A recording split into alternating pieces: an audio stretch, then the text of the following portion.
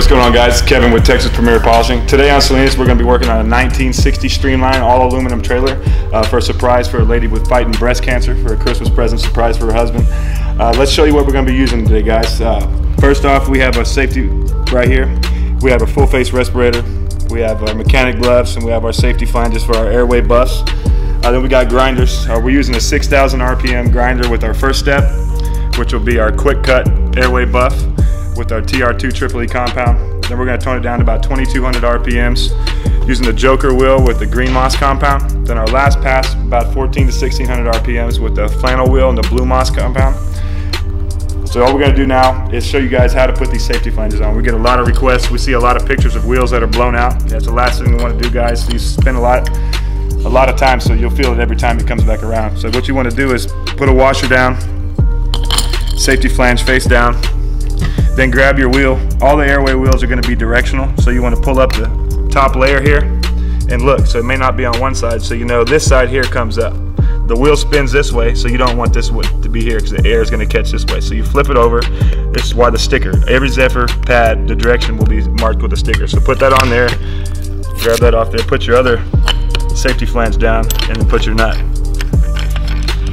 Go ahead and lock your spindle in. Tighten it all the way down so you can't anymore.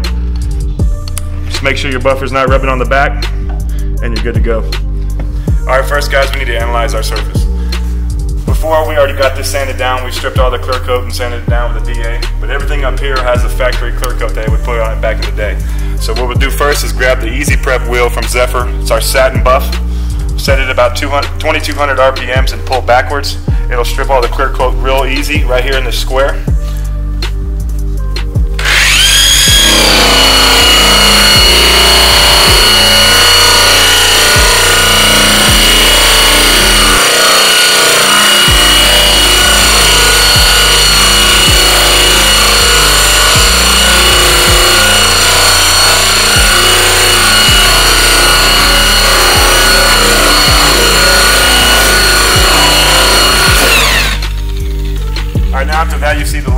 Here.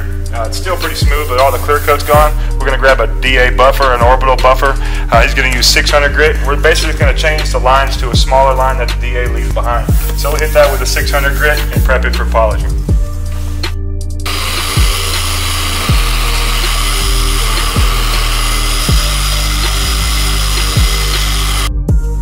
now we got our surface prep. We've cut down our satin buff lines from the Easy Prep wheel with our 600 grit.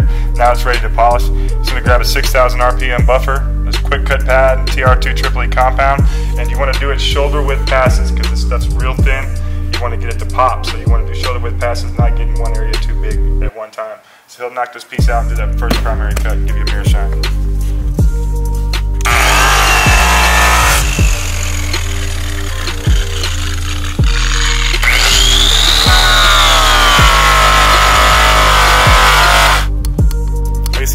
Cuttings done. We have a mirror image here, but it's not what we're looking for on a piece like this. We're gonna take a rag with mineral spirits, get off all this Triple E compound. It'll just dissolve all that stuff there. We don't want any cross contamination when we switch to the Joker pad and the green moss. Just leave it on there. We'll grab our green moss compound, put a little bit on the Joker wheel, and just add some color to it.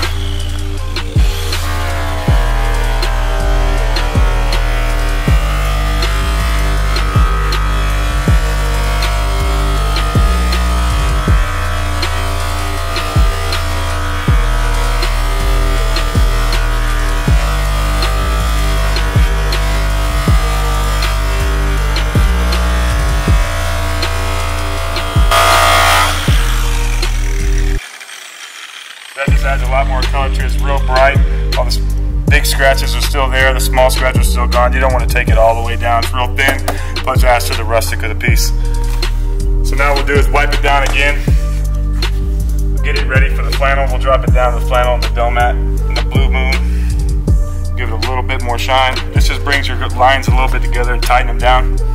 Just again, leave this on there. It acts like a cheat sheet for you as you go. You'll be able to see exactly where you're at. Our last pass of this, we'll use our flannel buff 1400 RPMs with just a little bit of Blue Moon compound.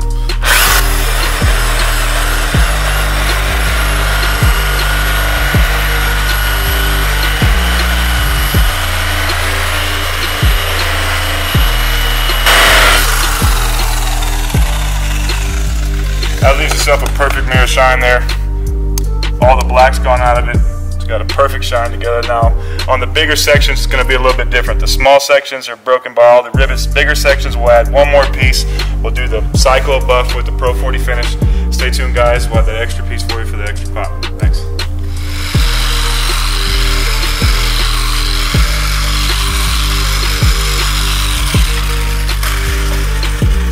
That, that's it. Just wipe it off in a circle, like so, with a microfiber towel. Perfect mirror shine. Plus you got all the goodies of the Pro 40 on there, all the sealants, all the repellents.